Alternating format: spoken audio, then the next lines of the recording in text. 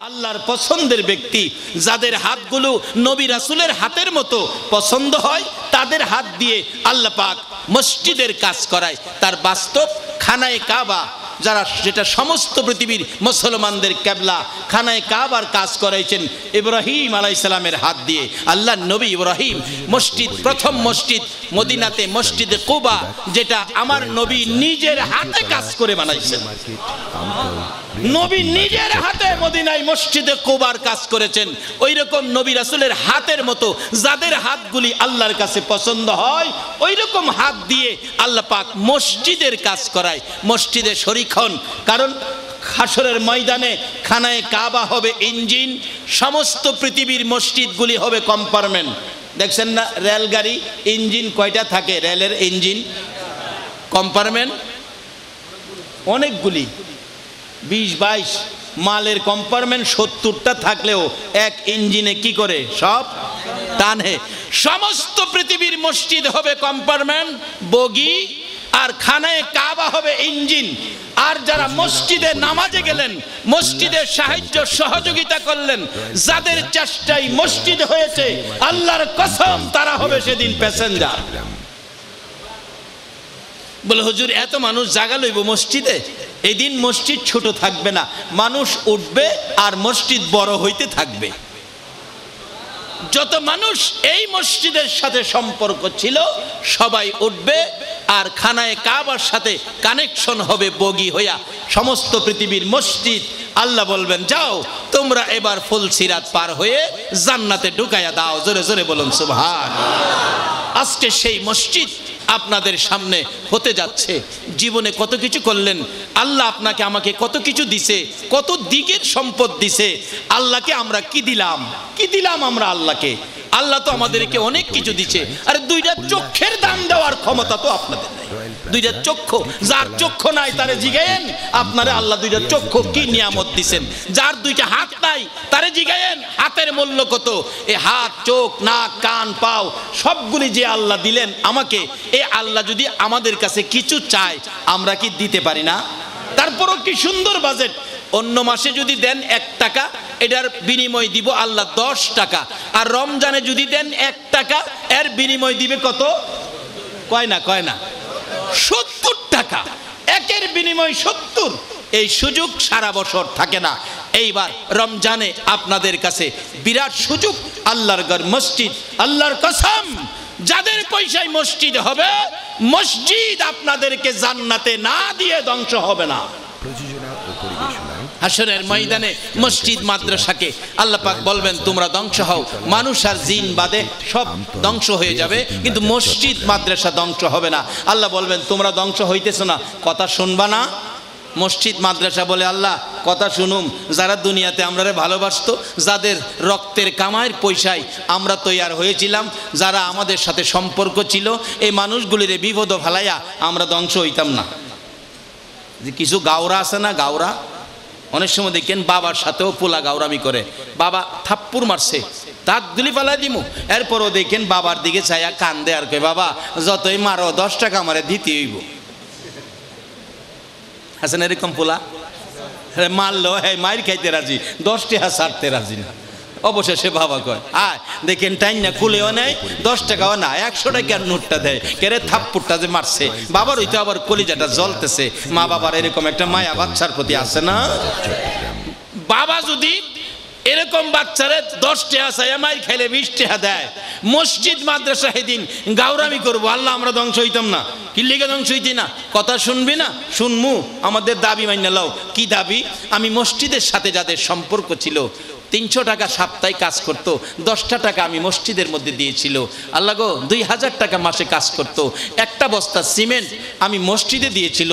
এই মানুষগুলির হাসরের বিপদে ফালাইয়া আমি মসজিদ ধ্বংস হব না।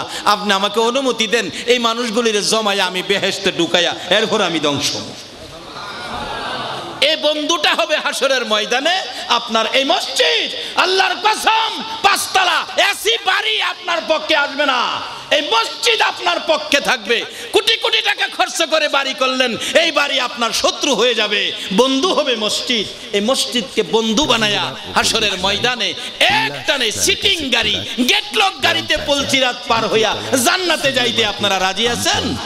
যে আল্লাহ আমাদেরকে এত কিছু দিলেন, সে আল্লাহকে কিছু দিতে, কিছু। আপনারা রাজি আছেন? দেখি আল্লাহ কাকে কবুল করেছেন এই মসজিদের জন্য। এমন ব্যক্তি এখানে কে আছেন? একজন মানুষ উঠবেন না। না থাকে না দেন, না হয় পরে দেন, কিন্তু উঠবেন না। আমি জোর করে কারও কাছ থেকে নিব না। আল্লাহ যাদেরকে পছন্দ করেছেন রমজান মাসে কার পকেটের টাকা? এই মসজিদে আসবে, এটা আমি জানি না। আল্লাহ ভালো জানেন, যাদেরকে কবুল করেছেন, যাদেরকে পছন্দ করেছেন। ও বাবারা ভাইরা, অনেকেরই তো মা বাবা কবরে পড়ে আছে, মা বাবার জন্য কিছু করেন।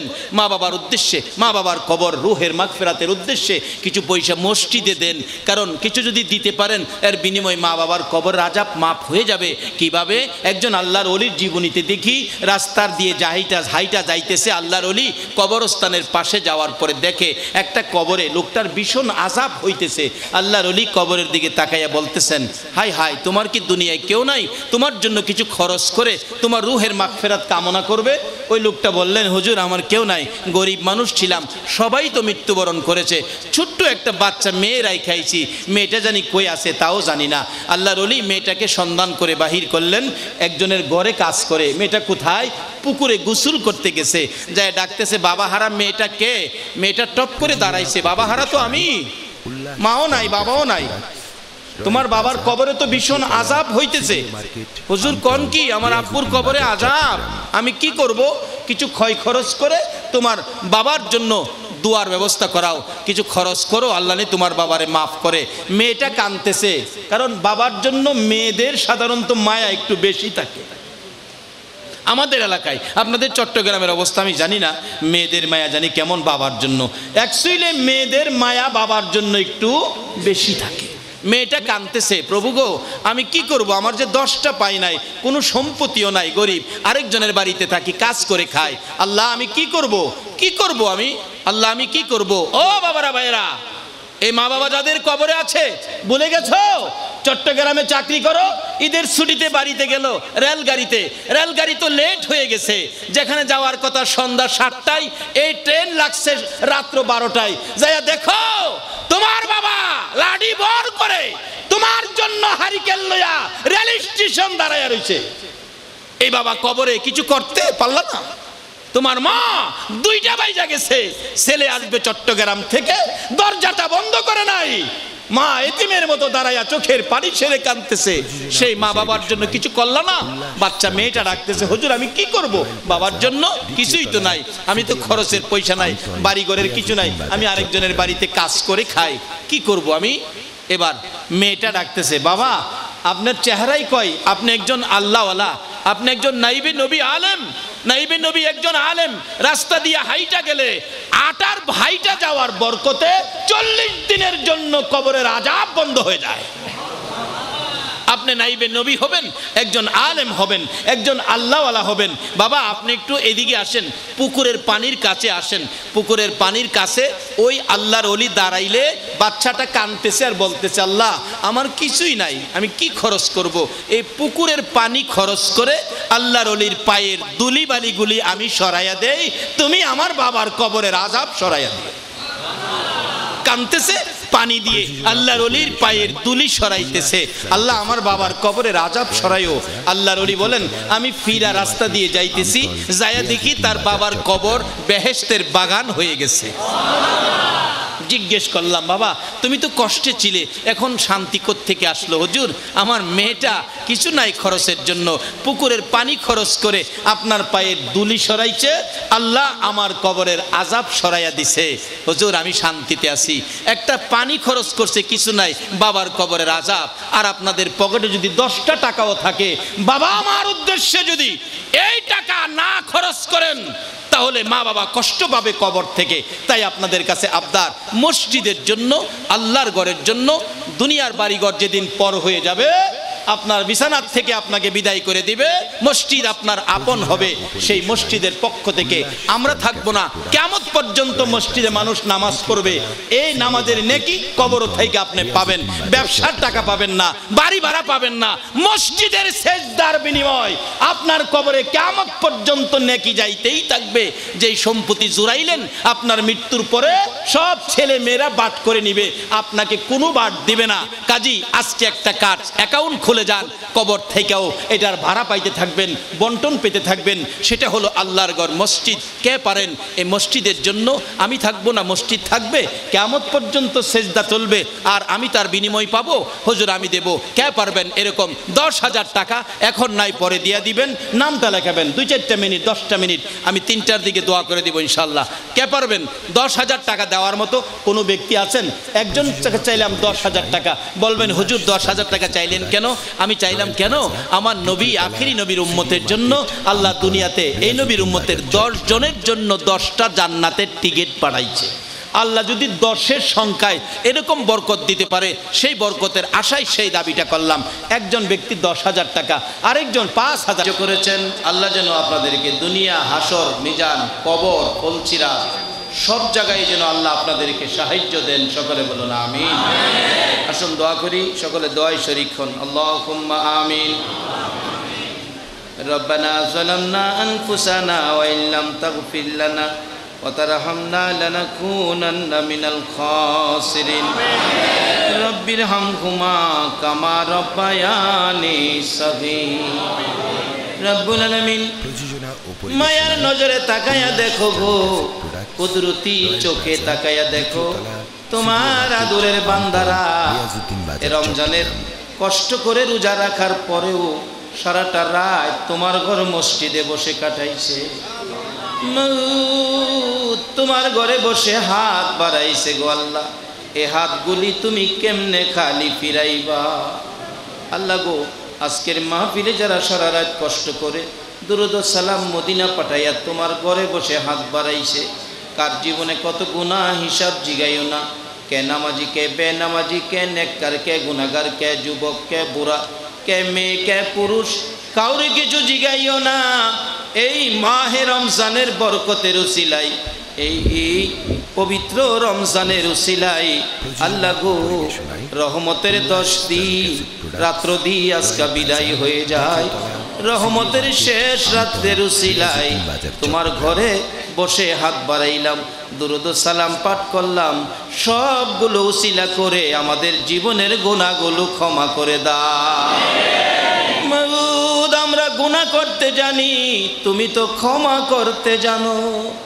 তোমার বান্দারা ক্ষমার আশায় হাত বাড়াইছে। তুমি যদি ফিরাইয়া দাও, তার আর কই যাবে গো আল্লাহ? ফিরাইও না, গোড়াইও না, আমাদের সকলের জীবনের গুণা ক্ষমা করে দাও। আল্লাহ গো, আরেকটা দরখাস্ত করি, তুমি রাগ হইও না। তুমি যদি রাগ হও, মনের দুঃখ কার কাছে কইব গো আল্লাহ? আমি জানি না আমাদের মধ্যে যারা হাত বাড়াইছে কার জানি মানাই গো মানাই? মা মা বলে ডাকার সুযোগ, কার জানি চিরতরে বন্ধ হয়ে গেছে। কার জানি বাবা নাই গো? ও দরদি বাবা। মাতার গাম পাতাই ফালাইয়া রোজগার করে সন্তানের মানুষ করেছে। বাবা না খাইয়া সন্তানের খাওয়াইছে গো আল্লাহ। ঠেলা ধাক্কাইছে, রিক্সা চালাইছে গার্মেন্টসে কাজ করছে, ফেরি বুটে কাজ করছে।